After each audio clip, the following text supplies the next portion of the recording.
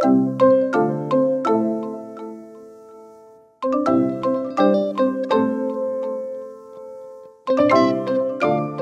días a todos, mi nombre es Jen y bienvenido a este Tu Mundo de Creación. Y hoy os traigo un vídeo en el cual vamos a aprender a hacer esta pelota.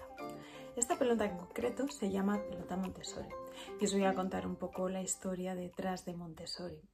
Montessori fue la primera médico en 1895 de Italia.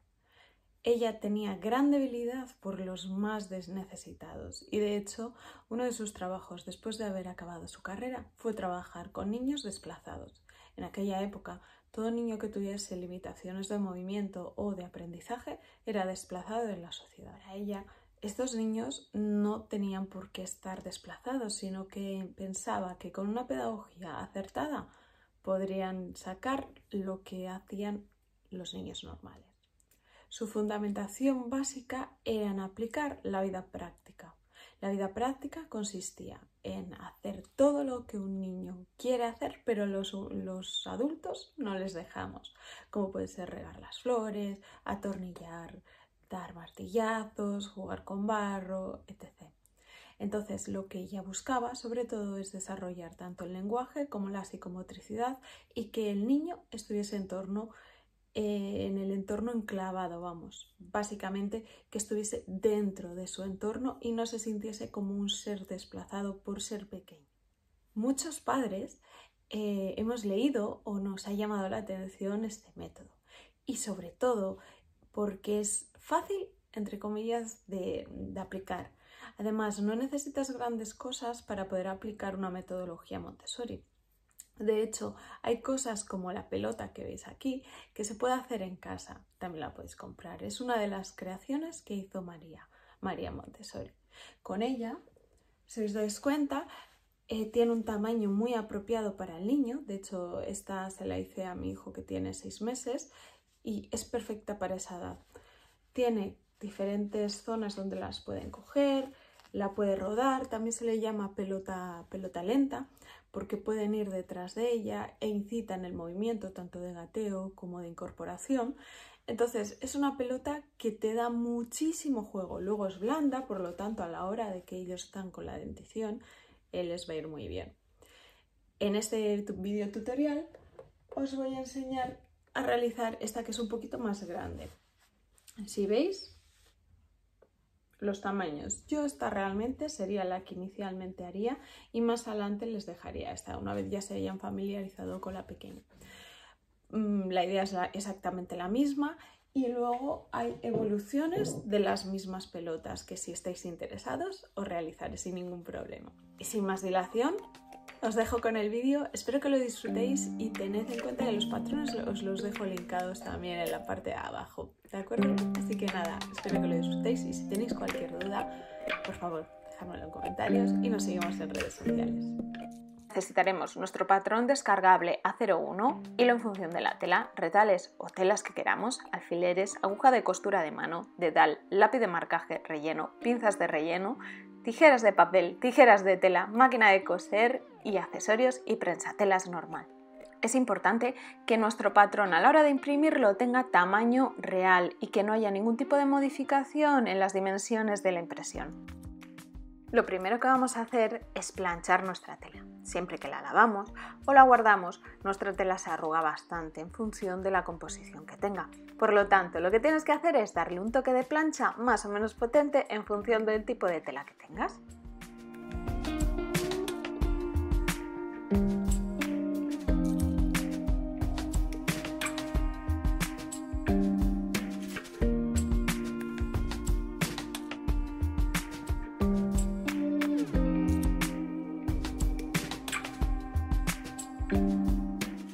Más retomaremos nuestro trabajo de plancha con todos los círculos. Ahora lo que vamos a hacer es el corte. Para ello cogeremos cada círculo, lo doblaremos por la mitad, cortaremos con las tijeras de tela perfectamente a la mitad. Cogeremos una de esas partes y la volveremos a doblar, quedándose en lo que son cuartos, y la volveremos a cortar.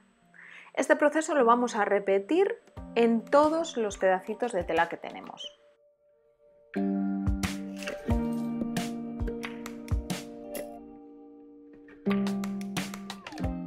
Como veis en la imagen, este tipo de corte en forma de pelota de rugby lo hacemos solamente en la tela que tenga el diseño o textura y lo realizaremos en todos. Lo que vamos a hacer es ensamblarlo. Cogeremos una pelotita de rugby por cada dos cuartos de tela lisa que tenemos. Los vamos a ensamblar con los alfileres para prepararlos y ponernos ya a disposición de usar la máquina de coser. En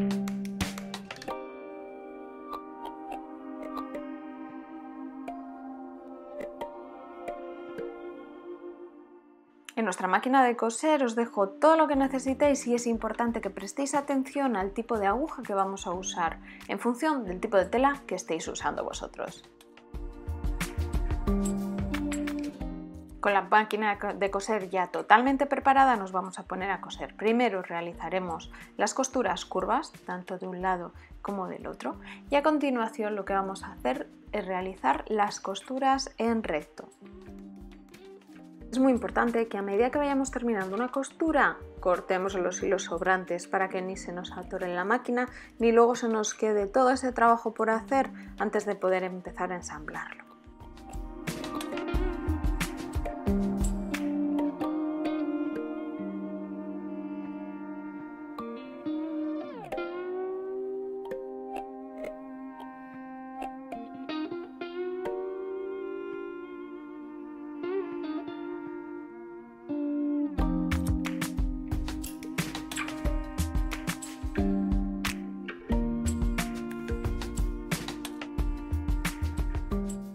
Para el montaje final vamos a coger cada gajo y como veis tenemos ya todo cosido. Lo que vamos a hacer son piquetes en las zonas de la costura curva. De esa manera, en el momento que demos la vuelta a la tela, nos va a realizar el tejido lo que es la curvatura y va a ser muchísimo más fácil de manejar. Piquetes pueden ser rayas o en triángulos. Yo normalmente uso la forma de triángulo porque es la que más me gusta. Recortaremos el exceso para que nos quede mucho más bonito, teniendo en cuenta que al menos nos tiene que quedar medio centímetro entre la puntada de costura y el espacio libre de la tela. Ya tenemos preparados nuestros gajos y ahora lo que vamos a hacer es rellenarlo. Tenemos dos formas de hacerlo. Os voy a enseñar esta que es la manual. Yo uso mi dedo eh, meñique para poderlo hacer ya que es una costura pequeña entonces damos ligeramente la vuelta un poquito al tejido y vamos introduciendo el dedo para que nos salga un poco de tela y ya posteriormente con el resto de los dedos poder sacar toda la tela por ese agujero que hemos dejado previamente. Otra opción es hacerlo con tijeras de relleno. Estas tijeras de relleno hay que desbloquearlas para poder utilizarlas. Se introduce dentro de la prenda que queramos eh, darle la vuelta, pinzamos el tejido como veis en la imagen y tenéis que acordaros que tenemos que bloquear nuevamente la tijera.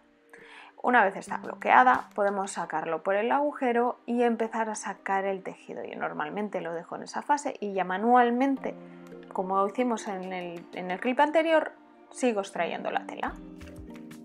Cualquiera de las dos es mm, opcional, la que queráis sirve exactamente para lo mismo y la función la cumplen de la misma manera. A continuación lo que vamos a hacer es rellenarlo. Para eso necesitamos guata. La guata es relleno de peluche o relleno de almohada que podéis encontrar en casi cualquier sitio. Es muy barata y vamos a necesitar bastante en función del tipo de tamaño de pelota que hayáis elegido. La pelota más grande lógicamente necesita más guata y la pequeñita pues necesita un poquito menos. Importante dejar las puntas de nuestro gajo un poco libres de guata para que luego en la costura lo podamos realizar perfectamente. Ahora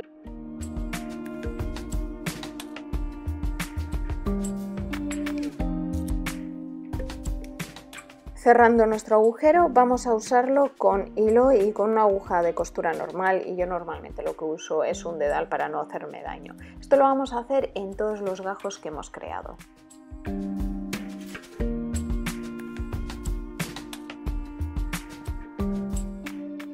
A la hora de ensamblarlo tenemos que coger tres gajos, como veis aquí, y los vamos a unir tanto en la zona interior como en las zonas exteriores, de tal manera que se nos quede como una especie de flor.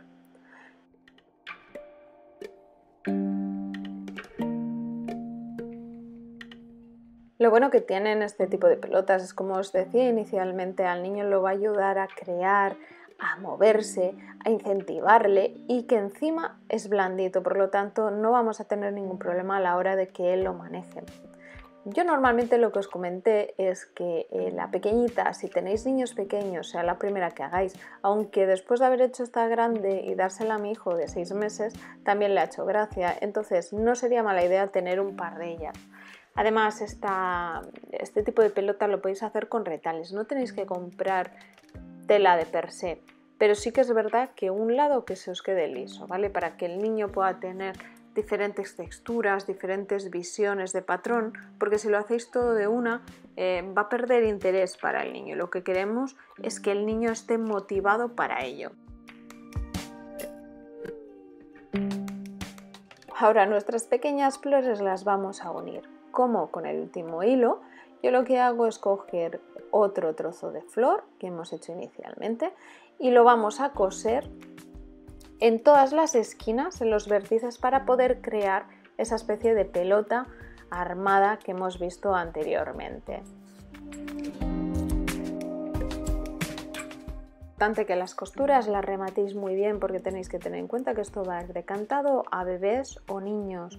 Entonces no queremos que se nos abra absolutamente nada, así que dedicarle un poquito de tiempo.